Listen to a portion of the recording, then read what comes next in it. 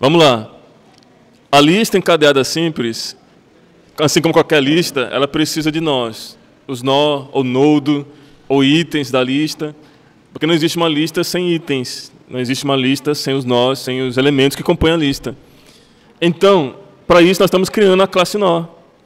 E aí a classe nó, ela vai ter esses elementos aqui, né, que nós estamos vendo. Ah,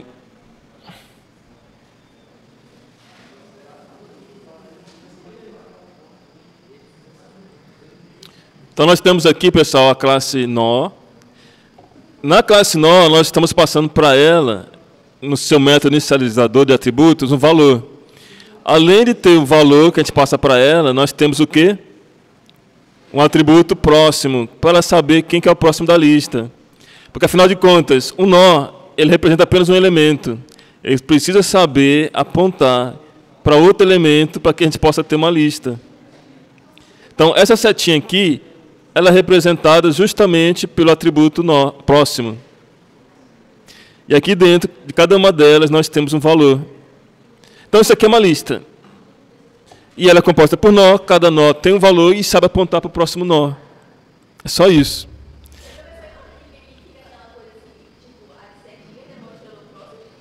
É, esse é o objetivo. É só uma estética. Não precisa se você não quiser. No lugar da setinha você pode colocar uma vírgula, igual eu estou fazendo aqui, ó. Vírgula, aí você salva, e aí você executa. E está lá, vírgula em vez de setinha.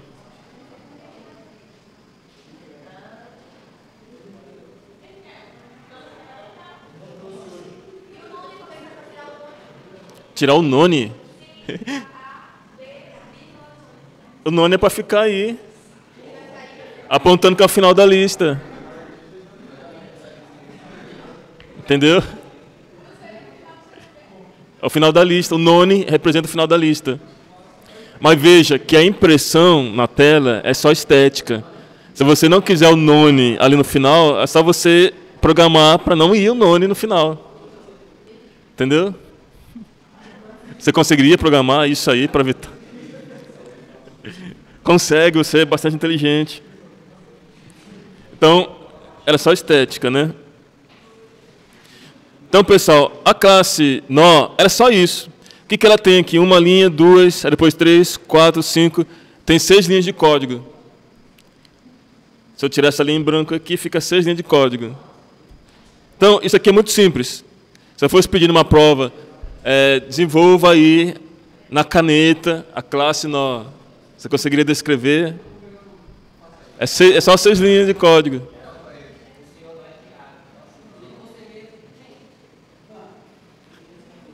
Eu posso pedir de repente, quem sabe? Uhum, sei. Então, pessoal, alguma dúvida sobre classe nó? Dúvida, Isaías? Giovana só estava com dúvida na estética da impressão. Então, pessoal, esse, esse método aqui.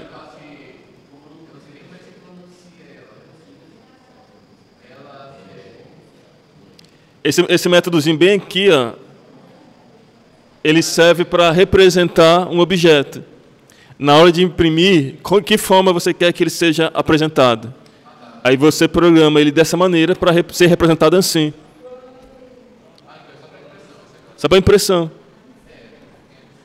Então, é, esses atributos aqui, que tem underline, underline, toda classe Python tem várias funções, vários métodos embutidos dentro dela com underline, underline. São funções especiais dentro de Python. Quando você cria a palavra class, ele já ganha isso aqui de presente, basta você só programar. Então, quando você instancia, cria um objeto, init é chamado. Quando você manda imprimir o objeto, o wrapper aqui de representação é chamado. Outra coisa, se eu fizer, eu vou fazer um teste aqui de experiência, só para mim trocar e botar isso daqui, str. Executar para mim ver se tem o mesmo resultado. Tem o mesmo resultado. Esse, esse str é uma representação em string do objeto. O wrapper também. Só porque, mas o que eu entendi é o seguinte: o, o rapper de representação é para você usar ele de uma forma em que, quando você chamar essa função, você apenas dá um Ctrl+C, Ctrl+V e cria um novo objeto. Então, no, no, o mais ideal seria STR e não rapper, para esse caso aqui. Mas é uma coisa além, é margem de fora do conteúdo, então não vou entrar em detalhes. Mas você pode usar o STR. Mas semanticamente o correto aqui é STR, não é o representação. Porque representação significa colocar um objeto na tela, impresso, numa forma em que você seleciona ele, esse texto, e já joga no código para instanciar o objeto.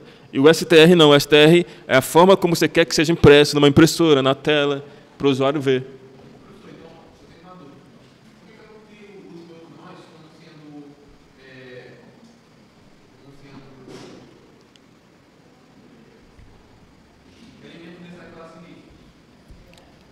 Como sendo elemento da classe lista?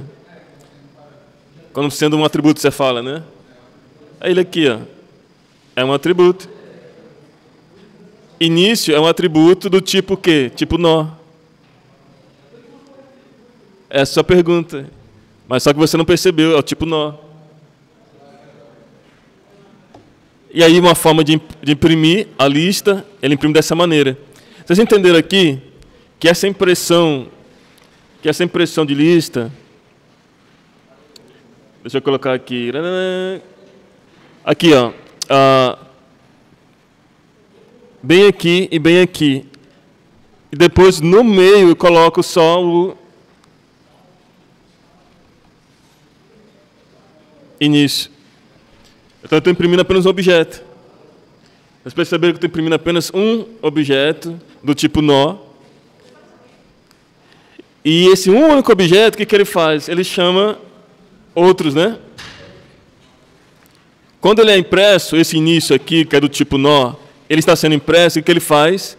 Ele imprime o valor, que é um atributo dele, né? valor é um atributo dele. Mas, ao mesmo tempo, um outro nó está sendo impresso aqui. E o que, ele sabe fazer? Ele sabe que tem que imprimir o quê? Valor também. E depois imprimir o próximo. Então, é uma sequência que vai chamando um, vai chamando o outro. Eu não usei loop, não usei for, não usei while, e ele vai chamando um ao outro, sem fazer um laço de repetição. Por isso, quando você vê aqui na impressão, aqui na impressão você consegue observar isso aqui, né?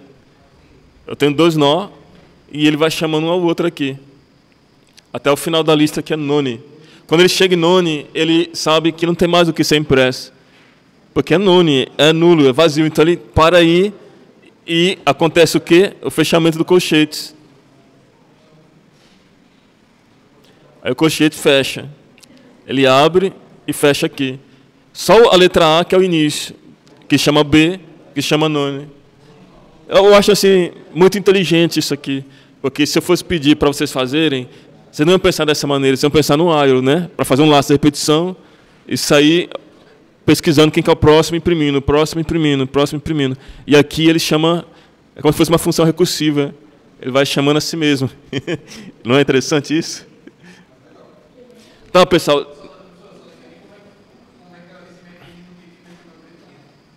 Ué, acabei de mostrar. Esse daqui é a função em que o objeto sabe se imprimir. Ele sabe se imprimir. Então, quando eu faço aqui na lista a impressão, o que, a lista faz? Ela manda imprimir um objeto do tipo nó. Esse objeto do tipo nó, ele já sabe ser impresso. Na hora que ele vai imprimir, ele imprime o que primeiro? Valor, e depois o próximo nó. O próximo nó é B. Então, quando B entrar aqui para ser impresso, o que, que ele vai imprimir? O valor de B mais o próximo, que no caso é none. Entenderam?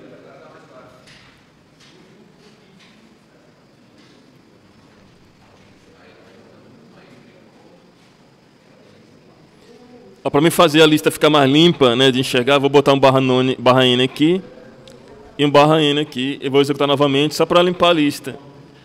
Criar um espaço, né, uma linha vazia entre eles. Então vou fazer aqui novamente. Dá um CLS primeiro. CLS. Agora tem um espaço em cima e embaixo para poder visualizar melhor.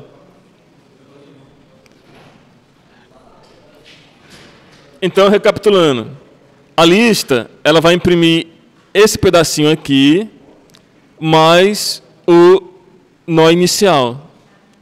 O nó inicial vai botar o valor dele aqui e chamar o próximo. O próximo vai botar o valor dele aqui e chamar o próximo. E se tivesse uma letra C aqui, ele ia chamar o próximo. Que por sua vez ia chamar o próximo. Até o final, aonde ele ia botar o colchete, que é onde encerra tudo. Capite? Pessoal, isso daqui é o básico, então, para criação né, de uma lista encadeada, simples. É isso aqui. Agora, a partir daqui, que deu seis linhas, mais uma, duas, três, quatro, cinco, onze linhas. Agora o que vocês têm que fazer é o seguinte, uma lista, ela tem várias operações. É aí que vem a parte que vocês entram com os seus neurônios. Vocês vão ter que criar lá uma função, uma função para, é um método, né, como é uma classe, def inserir aí o PES Aqui é self também. Aqui no caso, então, nós temos novo nó, que é do tipo nó. Então, aqui nós temos a operação de inserir, que eu quero deixar com vocês aí para vocês fazem isso. Isso. Pessoal, eu quero, eu quero muito que vocês fiquem animados para fazer isso. Se vocês fizerem esse método inserir, eu posso dá duas escolhas. Uma opção de duas escolhas: sair mais cedo ou é para quem fizer a equipe que fizer primeiro, sair mais cedo ou ganhar um ponto extra. A escolha é de uma equipe só, que é essa equipe que vai fazer esse método primeiro. Primeiro que fizer. Hã? É a vida é muito complicada, cara. Não dá para ganhar tudo. É um do... É um só dos dois.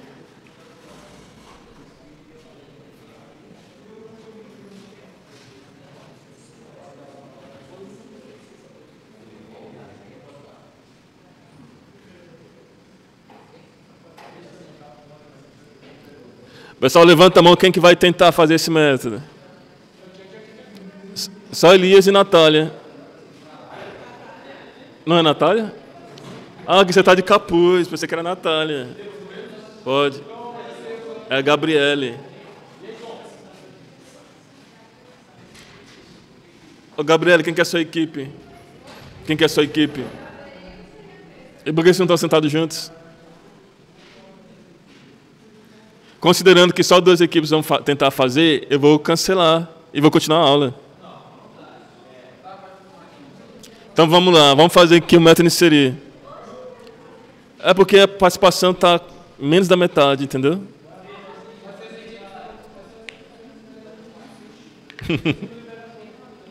então vamos lá. Eu tenho esse método aqui, só que ele tem que ser inserir início. O outro método vai ser inserir no final. E outro método que vai ser inserir na posição específica. Ah, inserir no meio, né? Inserir meio. Esse inserir no meio, você vai precisar solicitar para o usuário uma posição.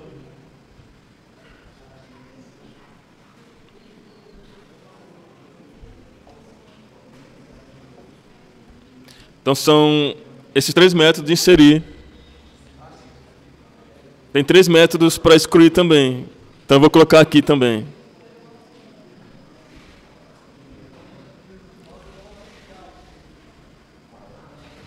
Excluir. Excluir no início.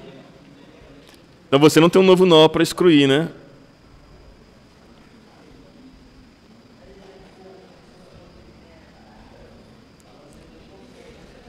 Excluir no final.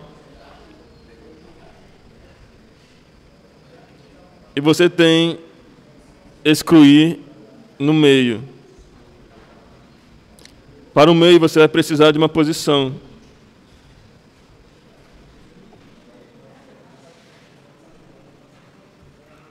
Então tem os 3 metros excluir, 3 metros inserir. E precisa de um método chamado tamanho, né? Também. Oi? Apagar a lista, né? Apagar a lista é muito simples. Para você apagar a lista, você vai lá no início, coloca o um nome no valor e acabou, a lista foi embora. Você perde a lista.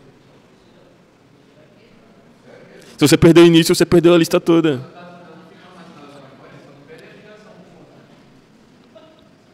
Você já ouviu falar um tal de, de garbage collector?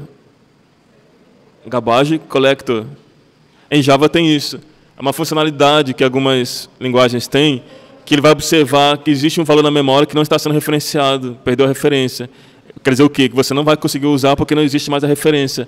Quando isso acontece, ele limpa a memória. É. Porque ele fica perdido no espaço, né? Aí a linguagem vai lá, tem, no caso do Java, é JVM, mas o Python também tem isso. Quando, quando o programador perdeu a referência, ele não consegue acessar. Então aquilo é lixo.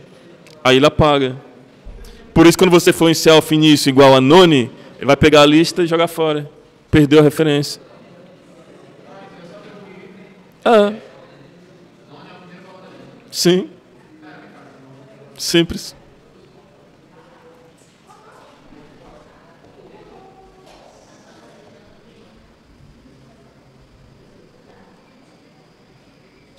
Então, pessoal, 3 metros inserir, 3 metros excluir e o tamanho. Em homenagem aqui ao Elias, vamos colocar um método de apagar a lista.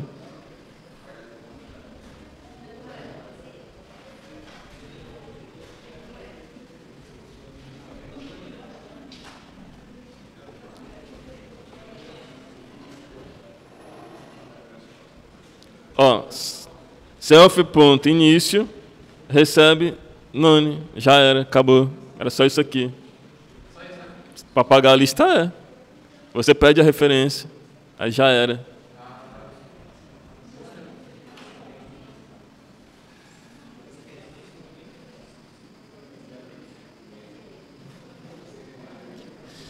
Vamos lá, quem é que já fez o primeiro método? Inserir início. Já fez ali o primeiro método, inserir início?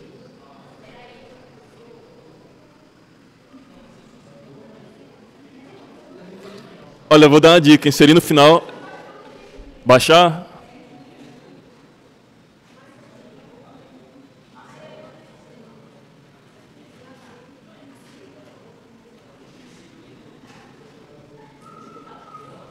Você está fazendo qual, Giovana? Qual método?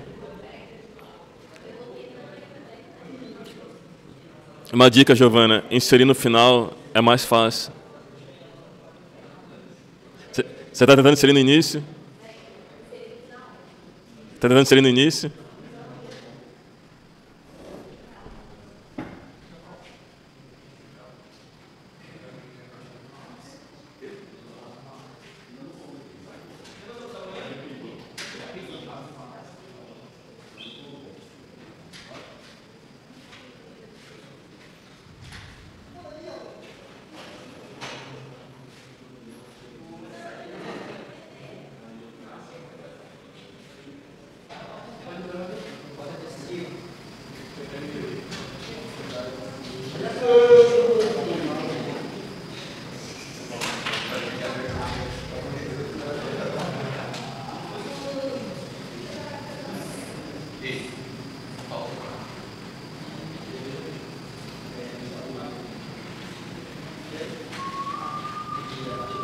Vamos mudar então as funções.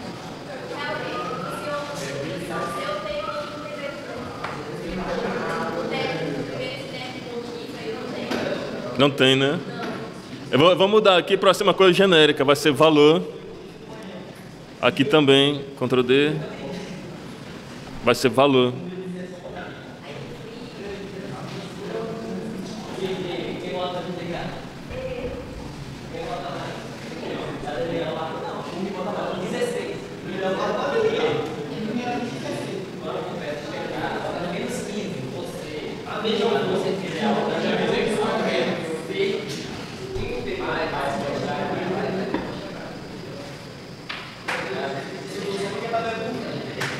Pessoal, eu posso fazer então um método ali? Eu vou fazer isso ali no final. Eu vou fazer isso ali no final, viu? Giovanni, eu vou fazer eu inserir no final.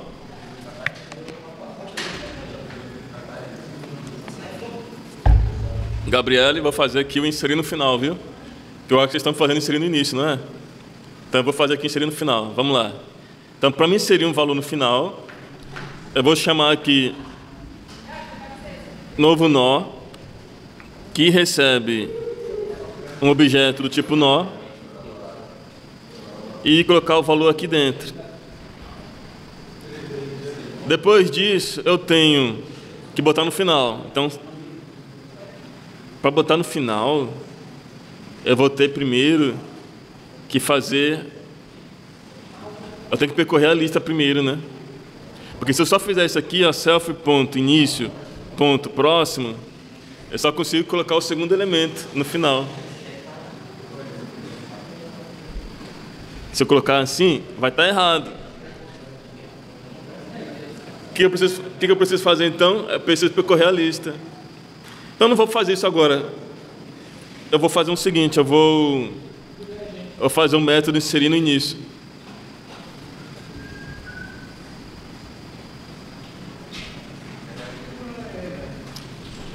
Então, eu vou vir aqui, botar esse código que eu estava escrevendo ali. Não sei se vocês estão fazendo igual, né? Novo valor, nó, valor. Um objeto novo nó. Self início, eu não posso fazer isso aqui, então o que eu tenho que fazer? Eu tenho que pegar. Se, se é no início, eu vou colocar aqui o nó auxiliar.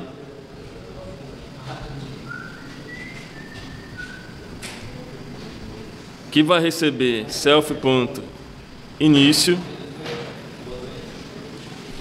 E aí self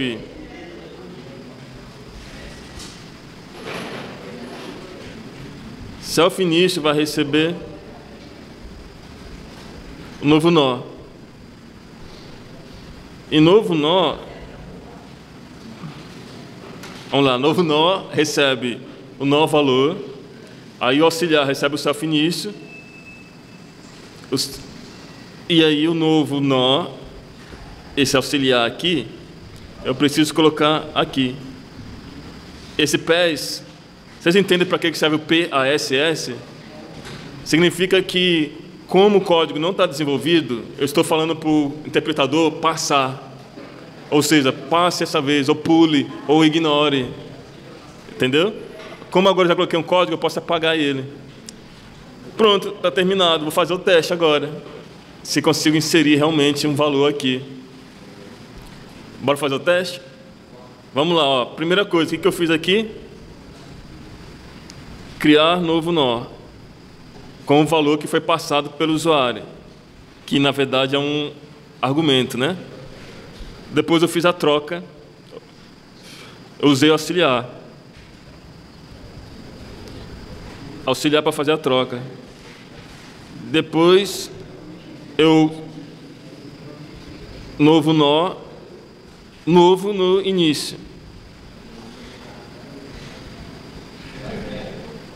e o antigo no final. Bora fazer agora o teste. Então eu tenho a lista A, a lista B. Aí vou criar aqui um outro nó, que é o nó 3, que ele vai ter a letra W. Depois eu vou chamar lista ponto inserir no início ah, eu não preciso de colocar aqui, né? Não preciso criar um nó 3, ele vai criar para a gente. Porque aqui é um valor qualquer. Vou colocar o W aqui e depois imprimir a lista. Para ver se vai inserir no início. Então vamos lá, até o momento era só isso aqui. Agora eu estou inserindo no início e o W tem que aparecer antes do A. Bora ver se vai aparecer antes do A? Olha só. Foi inserido no início. Então o código funcionou. Viu aí, Andrei? Funcionou o código, tá, tá no início.